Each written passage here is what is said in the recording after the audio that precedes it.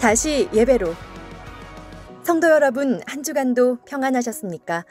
5월 첫째 주 버머 뉴스를 전해드리겠습니다. 아브라함 기도회가 있습니다.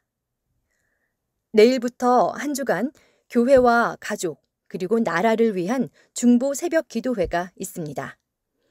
교회 중직자들과 주일학교 교사들, 사랑방 목자들이 맡은 주님의 양들을 위해서 모든 성도들과 함께 중보 기도하는 복된 시간입니다.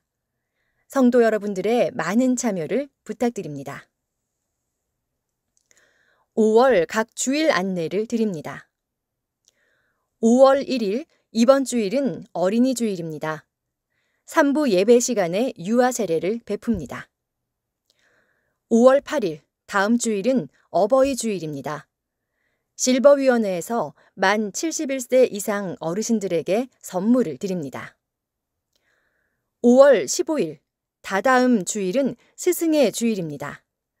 주교위원회에서 부서별로 헌신하는 교사들에게 위로와 격려의 시간을 마련합니다.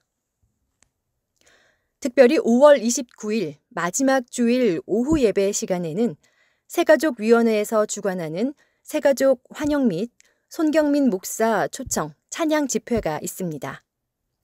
손경민 목사님은 우리 교회에서 잘 부르는 충만, 은혜 등 여러 은혜로운 찬양을 작곡했으며 아이빅 밴드 예배 찬양 사역자로 사역 중입니다. 참석하셔서 은혜의 시간 되시기 바랍니다. 이상으로 5월 첫째 주 버머 뉴스를 마치겠습니다.